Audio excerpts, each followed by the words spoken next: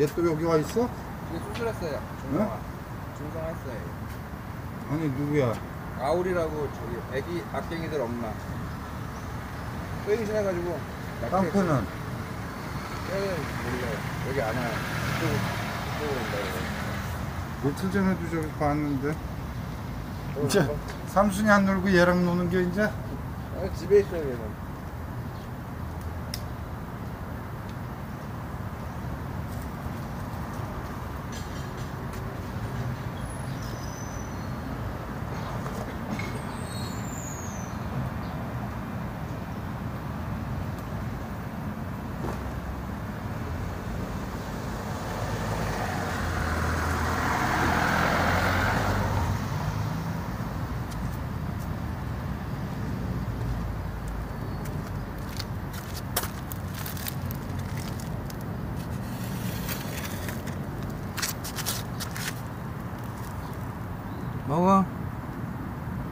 괜찮아, 먹